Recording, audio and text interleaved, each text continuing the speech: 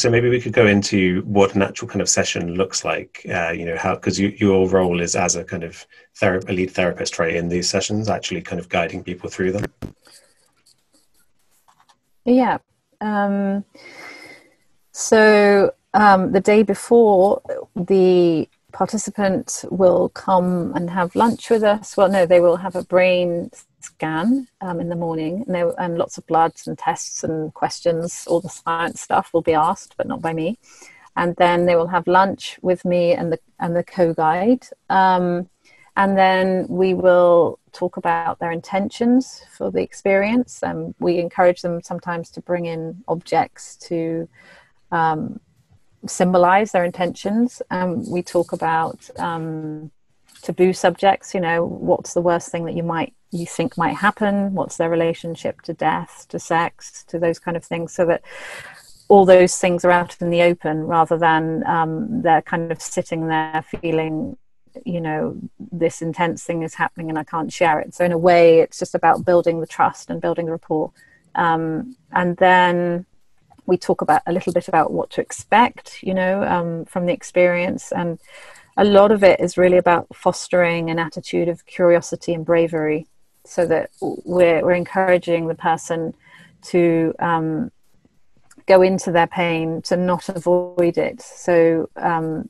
you know, depending on what kind of experience they have, it's like whatever arises is useful and interesting. Just be curious about it. And if it's nothing's happening or you're stuck, then stay with that, you know, um, and explore that. It's all it's all grist for the mill, as it were. So we kind of do a lot of preparing of what to expect, and then we do a prep visualization, um, which um, Ros Watts has written as part of her ACE therapy model. Um, and that's so the participant will lie on the bed and we'll have a sense then of what it's like to have the two guides next to them and I will read a very lengthy visualization, which is all about sort of going into your body, feeling the tensions in your body, staying staying with those tensions, seeing um, if they shift or if there's anything happening there, or what feelings can be associated with those tensions, um, and and the analogy is very much diving for. So you may have these beautiful experiences. Um,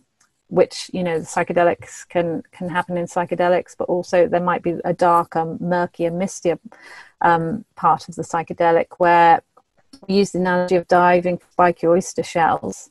So you know it's being curious about them prizing them open and which is a bit like the analogy of the, your pain staying with your pain to see what what what what you might find. And if you prize open an oyster shell you might get a pearl and the pearl can be you know that insight or that wisdom um, that they gain from the experience. So that prep visualization, I think, helps them have a sense of, I suppose, diving into their internal world, diving into their psyche, noticing what's happening in their body, going towards their pain or whatever experience happens. I suppose it's fostering surrender and trust, really, and, and kind of feeling what it's like to have us by their side, looking after them. So after that, then they come back the next day. Um, relatively early. We encourage them to have quite a light breakfast, and by about we we check in with them, see how they're doing. You know, they might be quite nervous.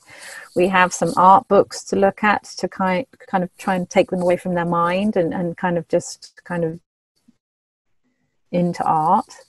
And then we, once they're ready, we give them the psilocybin capsules, so five capsules, um, because they have to be synthesized, and then it will encourage them to put themselves into experience happens.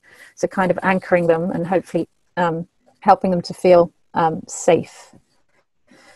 Um, and then we kind of kind of sit sit back and you know once they pull their hands away and um, we check in with them say every 40 minutes unless they look distressed although they're having a difficult time you know, we just ask them to let us know what's happening and maybe we can breathe with them or, or we can kind of, you know, if they need to talk to us, then they can do that. But we very much try to foster this internal experience for them. And we're like their cabin crew. We're there to make them feel comfortable and to feel safe.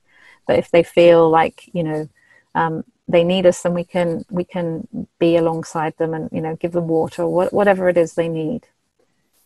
And then I suppose after about two or three hours, um, the psilocybin will wear off and they may come out and want to share a little bit with us, but often we encourage them to to go back in and to because on the descent you know it can be useful as well to, to keep working with the medicine and think sure if you want to speak to us you can but it might be really useful to just you know take what you've got there and go back in with it and see see where it takes you.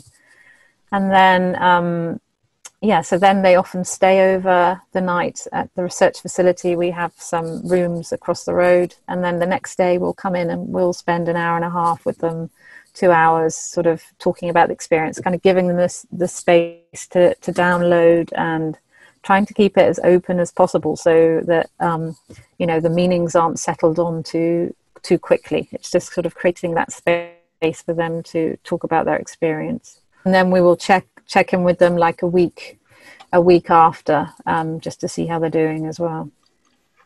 And then your role as the guide, then it sounds is it's even though it might be called psychedelic assisted psychotherapy, it's it's a rather kind of supportive rather than active guiding through the experience. Is that right?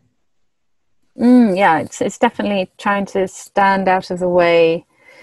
Um, yeah and letting the medicine and the person hopefully you know we, we talk about them finding their inner healer. And um, i suppose there's very much that sense of wanting to hand over to the participant who's maybe felt disempowered felt like they're they're powerless in their life to to have an experience where where they're really interacting with it and they're they're bringing home um, insights or feelings that are really relevant to them. Um, so yeah i think as opposed to traditional psychiatry, we're trying to step away from being the expert and just kind of provide that warm presence. You know, obviously, having an, an understanding of someone's psychology helps us to, you know, know when maybe we might need to move towards them a little bit more or give them a little bit more support if they're struggling.